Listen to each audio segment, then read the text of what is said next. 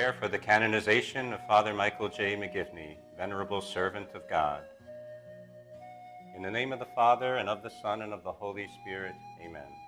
God our Father, protector of the poor and defender of the widow and orphan, you called your priest, Father Michael J. McGivney, to be an apostle of Christian family life and to lead the young to the generous service of their neighbor.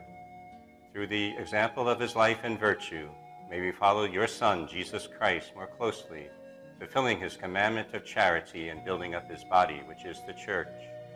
Let the inspiration of your servant prompt us to greater confidence in your love, so that we may continue his work of caring for the needy and the outcast.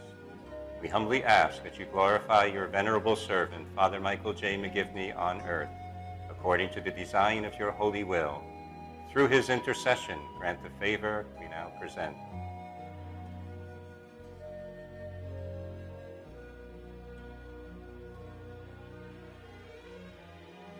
Christ our Lord.